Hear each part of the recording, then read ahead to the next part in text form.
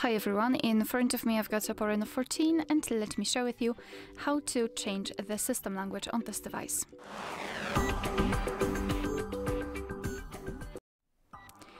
Alright, so we have to start with opening the settings. Right here, uh, let's scroll down to the very bottom to find System and Update, and then tap on Language and Region. Here we have to tap on Edit, and now we've been transferred to the full list of available languages from which we can choose. So all you have to do is to find yours and then tap on this plus icon next to it. So let me do it.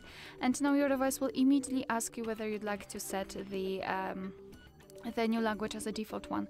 So just tap on yes and now as you can see the whole system will be displayed in the chosen language.